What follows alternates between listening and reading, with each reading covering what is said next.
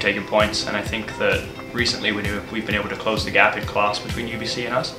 So it should be two good games, and I think we're in good position to be able to take points off them for sure. You always want to test yourself against the best teams, right? So I mean, them coming up here, it's always exciting, and if we're able to take points off them, you know, it's going to be a great feeling. So all the boys are going to be up for it for sure, and it should be a good fight.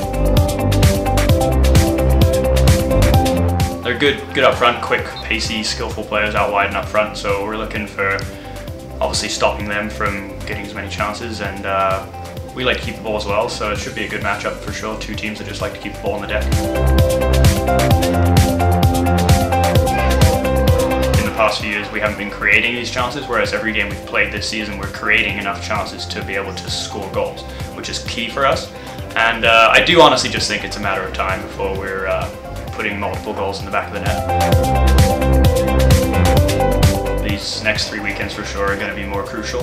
Um, to move, move towards our goal of making playoffs. Obviously we focus on the next game and we look to prepare for that and then we'll move on to the next one after that and we're just looking to take points one game at a time and as long as we put the performances in I don't see any reason why we can't do it.